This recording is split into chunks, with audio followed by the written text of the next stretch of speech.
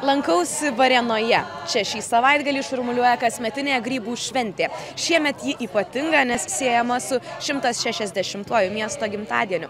Pasižvalgykime aplinkui. Motinėlai šokožė raudona, o pas tavi bernužėlė kaip morkva geltona. Šventė prasidėjo nuo spalvingo ir skambaus teatralizuoto atidarimo ir grybavimo čempionato apdovanojimų. Taurę atsiemė net ir jauniausiasis grybautojas, pastarajam vos šešeri metai. Ant scenos apdovanoti ir puošniausieji, ir greičiausiai grybus rinkusieji. Tokia šventė kiekvieno vareniškio visus metus laukiamas renginys. Žinot, grybavimo čempionatas ir grybų šventė, tai įaugus mums į kraują, nes jau šitiek metų vyksta, šiais metais 19 grybų šventė, tai tiesiog visi laukiam. Ir dabar du metus nevyko ta grybų šventė, pernai vyko grybavimo čempionatas tik tai, nes pačios šventės, kadangi buvo pandemija nevyko, tai jau buvom visi pasilgę, o visi labai laukiam ir iš tikrųjų tai labai nuostabi šventė, tikrai. Įspūdžiais dalyjosi ir pagrindinį prizą laimėjusi komanda. Jiems atiteko Varienos rajono mero įteikta taurė. Tas grybas, kuris mums atnešė laimę, jis tiesiog buvo išeinant beveik iš miško mums padovanotas. Milda jį rado. Jau grįžtant. Jau grįžtant, jau tiesiog. Mažas Dvasia mums jį atnešė ant delno tiesiog tokį grožį. Taip.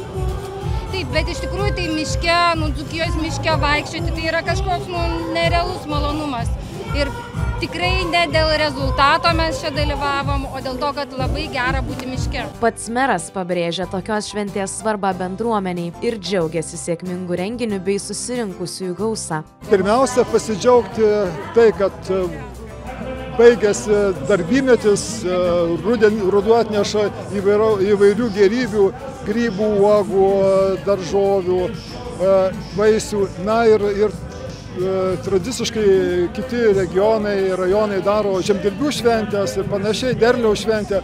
O kadangi dzukelių žemė nelabai tokia derlinga ir čia daugiau didžiausi turtai nuo seno būdavo tai, kas užaugdavo miškan, tai yra grybai ir uogos, tai mes ir prieš 25 metus ir pavadinom kaip šventį. Amatininkai ir tautodailininkai vareniškius ir miesto svečius stebino edukacinėmis programomis. Čia kiekvienas smalsuolis turėjo progą susipažinti ir prisiliesti prie senųjų tradicijų. Tai mes iš Dargužio amatų centro ir šiandien dienai pristatom duonos kelią. Tai šiaip galima susipažinti su įvairiais grūdais, kviečiais, savižom, pažiūrėti, kokie miltai gaunasi. E, Visus kviečiam paminkyti tešlą, ruginę tikrą ir padegustuoti duonelės keptos krosnyje. Kam labai patinka, kas susižavi, laukiam amatų centre ir patys gali tenai jau visame procese dalyvauti. Aš labai džiaugiuosi, kad žmonėm yra džiugu. Ateina, pasidomi, paklausia. Nu, sunku žmonėm patikėti, kad darau tokius darbus. Bet man tai, žinokit, smagu, kai jie užduoda klausimus. Man tada gali atsakyti ir tada žinai, ko žmogus nori, kokio tikslo ir ko tai paklausti. Man tai smagu labai. Šventėje savo veiklą pristatė ir svečiai iš Merkinės. Jie pasakojo apie rašytojo Vinco Krevės Mitskevičiaus jubiliejų bei siūlė svečiams nukaltas šventinės monetas. Kadangi esame iš Merkinės senojo miesto, va čia vienas iš simbolių, tai pasidarė monetą šiemet. Su Merkinės gerbu vienaragiu. Tai va visi klausė, kodėl tas vienaragis.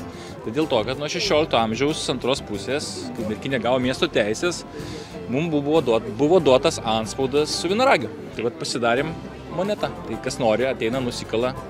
Įsigyja knygų, leidom knygų. Taip pat krėvės metus minime 140 metų krėviai. Tai va čia yra mūsų muziejininkė, vaikų piešinių paroda. Irgi va pagal krėvės kūrybą. Tai 140 metų šiemet minim Vinco Krėvės Mitskevičiaus jubiliejų, todėl ir grybų šventėj pristatom irgi krėvę. Taigi ir bus premija, dar kviečiam visus į spalio 19 dieną į Subartonis atvykti. Krėvės premija bus teikiama literatūrinė pirmą kartą. Labiausiai šiemet dzūkus liūdino skurdus grybų derlius. Kalbintieji tikina, kad grybauti mėgsta ir tokiais renginiais mėgaujasi. Šiemet e, nedalyvau čempionate, bet šiaip tai esu mėgėja rinkti ir grybaunu, bet kad šiemet tokie metai. Grybaujam, bet nėra ką grybauti. Esu pirmą kartą. Ateisi dar kartą. Manau, tikrai kitais metais grįšim. Gaila, kad grybų nėra šiais metais. daug pažįstamų, daug gražių žmonių, daug gerų dzukų. Gaila, šiemet grybų nėra. Atvykusieji papasakojo, ką planuoja įsigyti ir kokiomis lauktuvėmis namiškius nustebinti. Tapkės pirkom, e, šaukštus pirkom, mentelės. Pirksim žuvį, ko gero, nes grybų nėra. Šokoladinius grybus. Planuoju pirkti patinka. Taip čia patinka. Va, nusipirkau bičių tonelis jau, kad būčiau sveikesnė. Šventinė nuotaika ne tik apsilankiusiųjų veiduose. Čia prekiaujantys ūkininkai ir amatininkai pasakoja, kad ši diena jiems išskirtinė ir tikrai sėkminga. Prekystalius žmonės šluoja akimirksniu. Sakytau puikiai. Puikiai. Prieš du metus prieš šitą koroną buvo labai lietingas, viską išvaikė. Aš tik sūrius turėjau, bet jau viskas paskutinis, jau daugiau neturiu. Mes vaišinam dabar e, šventės svečius e, natūraliais produktais sūris daryti su medum, meduolis keptas su medum, bei mūsų natūralus medus.